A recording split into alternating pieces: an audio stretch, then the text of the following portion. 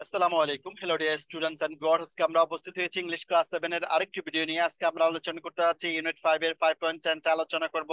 প্রথমে এখানে আমরা দেখতে পাচ্ছি ইনস্ট্রাকশন সেই ইনস্ট্রাকশনের উপর ভিত্তি করে এখানে একটা প্যাসেজ দেওয়া আছে। সেই প্যাসেজে যা বলা হচ্ছে সেটা আমরা করতে যাচ্ছি। এটার সুবিধার্থে তোমাদের জন্য একটা আনসার স্ক্রিপ্ট তোমাদের জন্য আমি তৈরি করছি। দেখো এখানে সবগুলো আনসার রয়েছে। আমরা প্রথমে ইনস্ট্রাকশনটা পড়ব, তারপরে আমরা আনসার শিটে চলে যাব। দেখি আমরা ইনস্ট্রাকশনে কি বলা আছে।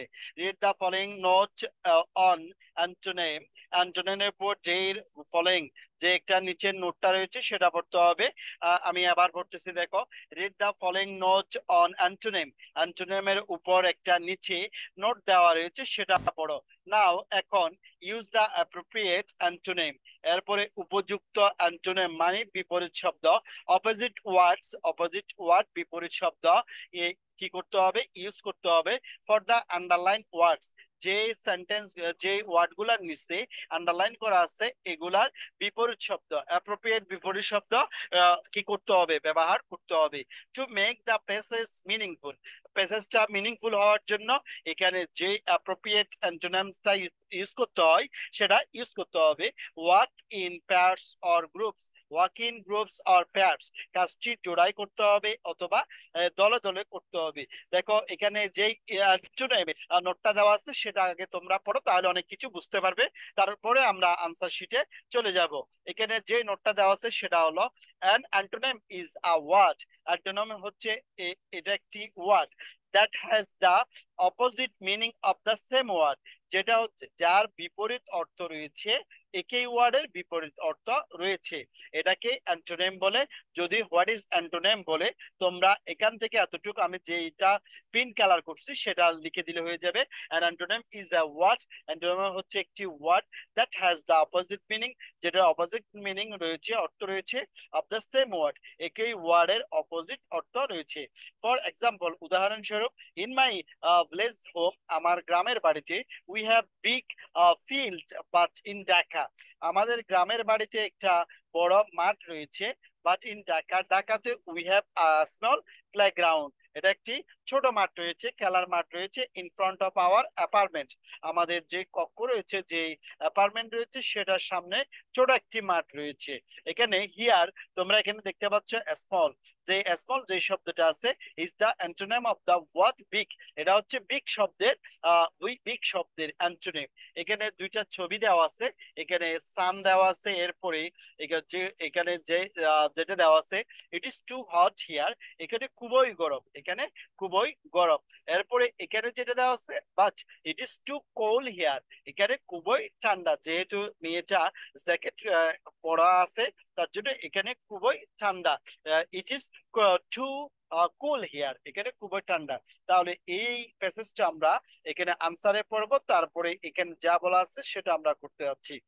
এখানে যে ওয়ার্ড দেওয়া আছে ওয়ান টু এভাবে দিয়ে যে পনেরোটা পর্যন্ত ওয়ার্ড দেওয়া আছে, এখানে যে শব্দটা হবে না, সেই শব্দের পরিবর্তে যেটা হবে, যাতে এই প্যাসেজটা মিনিংফুল হয়, সেভাবে তোমাদের আনসারটা করতে হবে।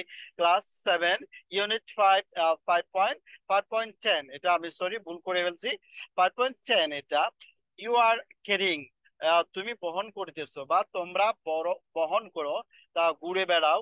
অ্যান ইনভিজিবল ইনভিজিবল বাকেট এখানে যে শব্দটা প্রয়োজন নেই, আমি এখানে কাটি দিছি এটা দেখো, এখানে কাট দিয়ে দিছি এরপরে যেগুলা প্রয়োজন, যেটা তোমাদের উত্তরে লিখতে হবে, সেজন্য এটা বোল্ড করে দিছি আর এখানে স্ল্যাশ দিয়ে বা অবলিক দিয়ে এটা লিখে দিছি তোমাদের লিখতে হবে শুধুমাত্র ইনভিজিবলটা লিখতে হবে। এখানে যদি ভিজিবল তুমি লিখো, তাহলে সেটা কখনো হবে না। ইউ আর কেরিং তোমরা ঘুরে ঘুরে বেড়াও অ্যান ইনভিজিবল বাকেট একটি অদৃশ্য বাকেট নিয়ে বা কলস নিয়ে তোমরা ঘুরে বেড়াও to hold দত্তে your all good thoughts and good feelings কি জন্য? ধারণা করার জন্য। ভালো চিন্তা ভাবনা ভালো অনুভূতি গুলা ধারণা করার জন্য তোমরা একটি খালি কলস নিয়ে ঘুরে বেড়াও। তাহলে এখানেও ব্যাটটা শব্দ রয়েছে ব্যাটাটা হবে না, তার জন্য আমি কাটি দিছি, এখানে এরপরে যে, এখানে যে শব্দটা হবে সেটা হচ্ছে গুড তাহলে এখানে তোমাদের লিখতে হবে গুড তাহলে ভালো চিন্তা বা অনুভূতি ধারণ করার জন্য বা নেওয়ার জন্য তোমরা একটি অদৃশ্য কলস নিয়ে ঘুরে বেড়াও।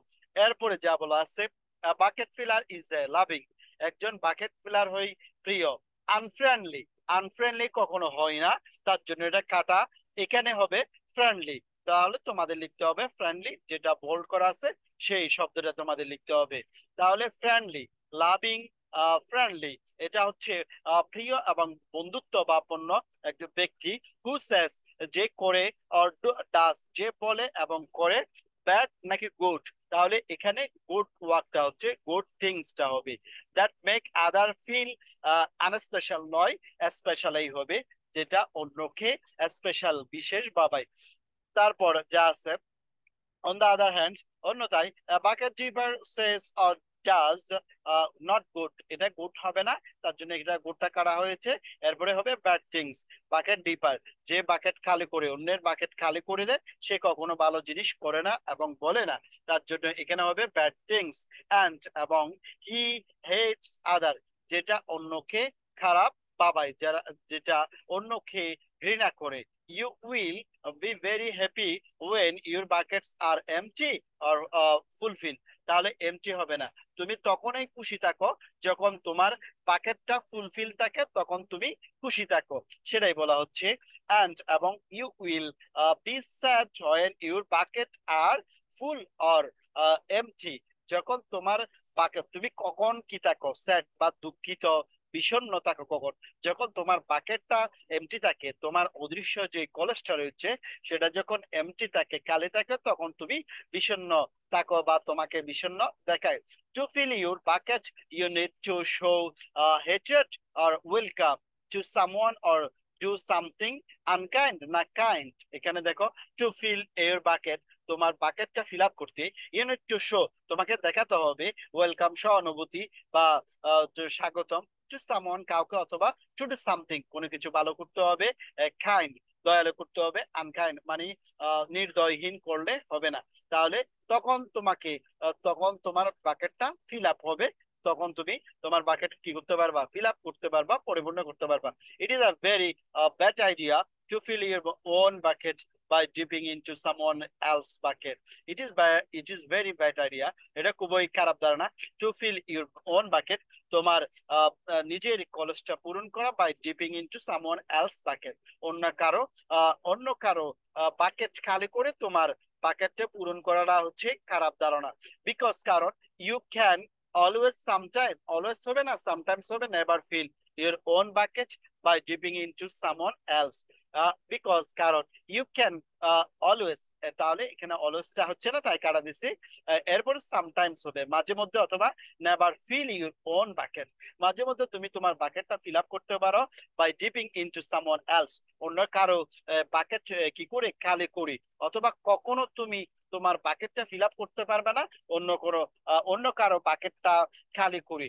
Be bucket be bucket dipper না ফিলার তাহলে তোমাকে হতে হবে be a bucket filler bucket ভর্তিকারে হতে হবে, খালি নয়।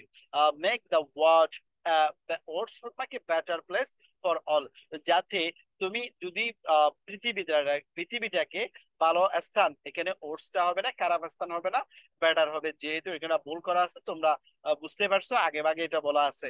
এরপরে হচ্ছে ফর অল, সবার জন্য যদি পৃথিবীটাকে ভালো স্থান বানাতে চাও, তাহলে তোমাকে হতে হবে বাকেট ফিলার, বাকেট ডিপার নয়। বিসাইড তার সাথে bucket filler is fun and easy. Not difficult to do কোনো কিছু করতে বাকেট ফিল করতে, কারও অন্যের বাকেট ফিল করতে, এটা করার, কোনো কিছু করাটা অনেক ইজি একটা কাজ, অনেক একটা আনন্দদায়ক কাজ, এটা ডিফিকাল্ট নয়। আশা করি তোমরা বুঝতে পারছ, যদিও বুঝতে না পারো, কমেন্টে জানিয়ে দিবা। আর সেই সাথে বলে দিচ্ছি, তোমরা যারা আমাদের আগের ভিডিও গুলা দেখো নাই সেটা আমাদের চ্যানেলে গিয়ে English class seven English class six এর প্লেলিস্ট রয়েছে, ওই প্লেলিস্টে দেখে আসতে পারো। যদি ভালো লাগলে লাইক ভালো না লাগলে ডিসলাইক আজকের মতো এখানেই বিদায় দিচ্ছি আল্লাহ হাফেজ, আসসালামু আলাইকুম রহমতুল্লাহ।